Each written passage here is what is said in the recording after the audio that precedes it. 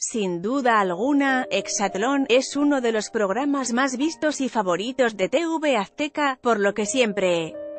dan mucho de qué hablar las acciones en las que se involucran los participantes, sobre todo lo relacionado a su vida personal. Por eso esta vez, en pleno auge de su triunfo como absoluto ganador de la segunda temporada, Aristeo Cázares, desató un gran revuelo en redes sociales por la apariencia física de su novia.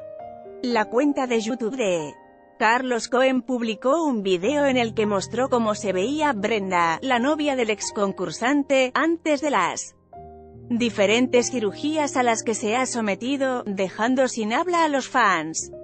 En el video se explicó que la novia de Aristeo no se ha realizado tantas operaciones como muchas personas afirman, pues fue la misma Brenda quien confirmó que solo se hizo un arreglito en la nariz.